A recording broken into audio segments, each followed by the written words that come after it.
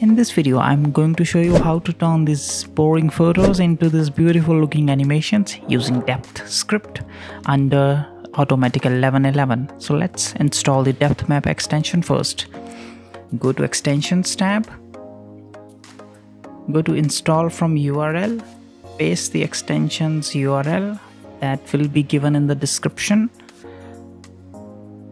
and just click on install. Once it's installed you will see it in the list of your installed extensions.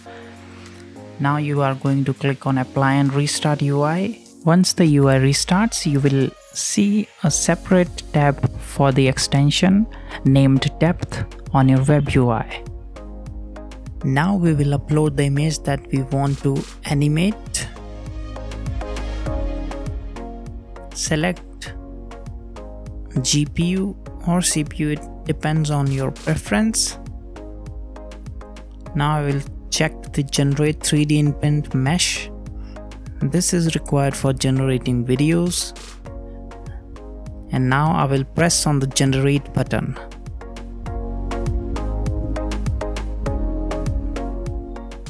If you are using this model for the first time then your automatic 1111 will download res 101 model for you.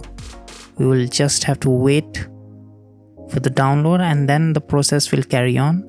And once it starts it will take time and you will see a window a terminal window like this.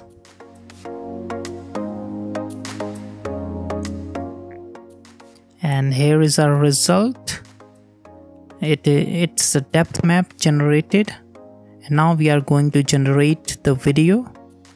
The input mesh that is generated will be read automatically by the 1111 and the mesh that you have generated is placed in extra images of your output folder. Now let's come to the settings you can increase number of frames or decrease. You can also increase or decrease the frame rate. You can also set the trajectory for the video. The trajectory will decide how your video will be animated. You can also select the format. Currently only mp4 and webm are available. Now we will press on generate video button. This is the result by using circle trajectory and this is using double straight line trajectory.